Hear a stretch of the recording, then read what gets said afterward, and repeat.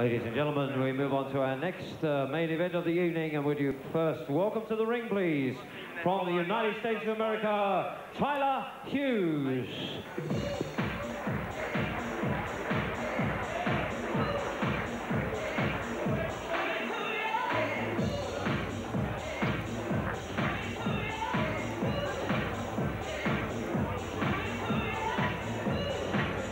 Well, first time I've seen this gentleman, Tyler Hughes, chatted him at the weigh-in at Nebraska. Well, you don't get too many great fighters out. A Ron Stander heavyweight got knocked over very lively by Joe Frazier.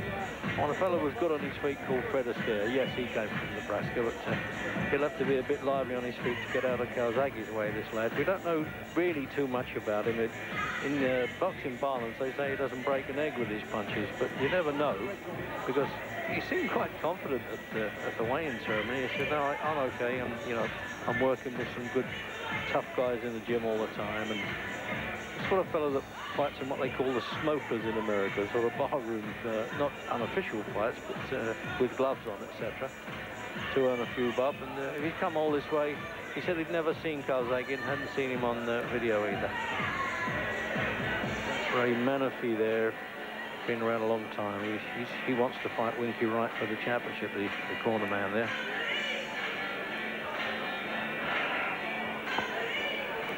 And now, ladies and gentlemen, from South Wales, Joe Calzaghe.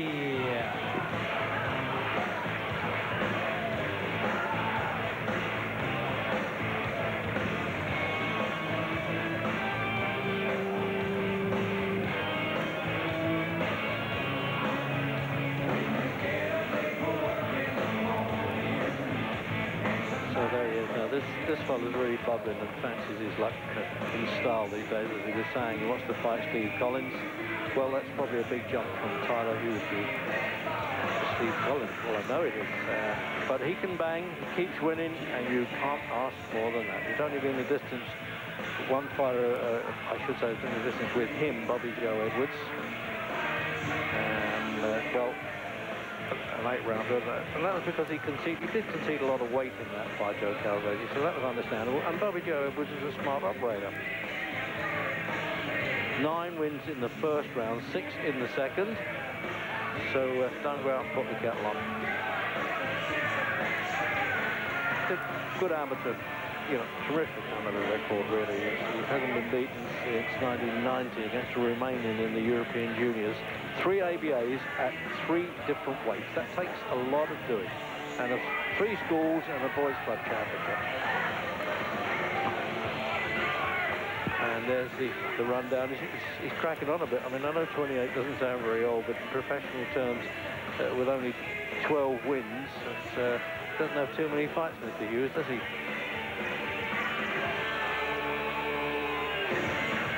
The, the knockout percentage says it all for himself there. But he does have a bit of experience in the rounds for what that matters. But it's, it's what kind of opposition that Hughes has been in with that we have to judge. You never know. I mean, we've seen some big surprises. Guys we didn't realise uh, walk on the scene and confide a bit. Ladies and gentlemen, uh, our joint top of the bill, promoted by Frank Warren for Sports Network Europe, is an international super middleweight contest over 10 three-minute rounds. Introducing in the red corner, wearing the white trunks trimmed with green, coming from uh, Nebraska in the United States. He is undefeated as a professional in 12 contests, three wins coming by way of KO, and scaled in at 11 stone, 13 and three quarter pounds. Would you please welcome to Manchester, Tyler Hughes. And his opponent, ladies and gentlemen, across the ring in the blue corner, wearing the all-black trunks and coming from the Newbridge in Gwent, South Wales. He has the impressive uh, professional record of 20 wins from 20 contests, 19 coming by the way of the big KO. He scaled in at 12 stone, one and three quarter pounds, and comes to the ring as the former undefeated super middleweight champion of Great Britain. Ladies and gentlemen, Joe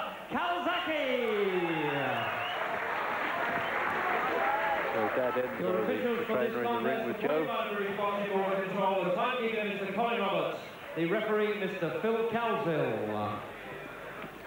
So now, are we going to get a test for Joe Calzaghe, or is it this going to be another quick one? Could well be. 10 three-minute rounds. 12 stone division, super middleweight. But at least he's an unbeaten fighter, whatever the opposition has been. A little bit string beanie he looks, doesn't he?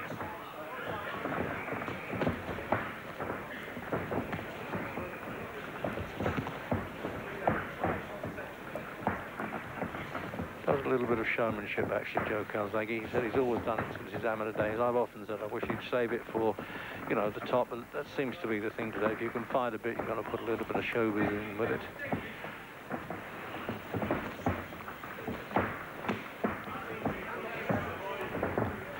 He's threatening to throw a punch down. He usually walks in. He nearly did there, nearly got it.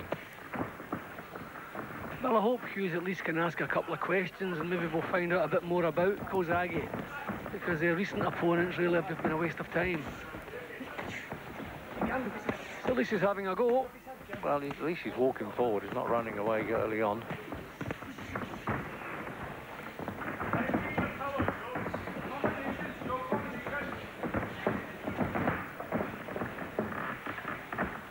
Exudes confidence the whole time, Calzaghe. It's, uh, he's got to watch that one of these days.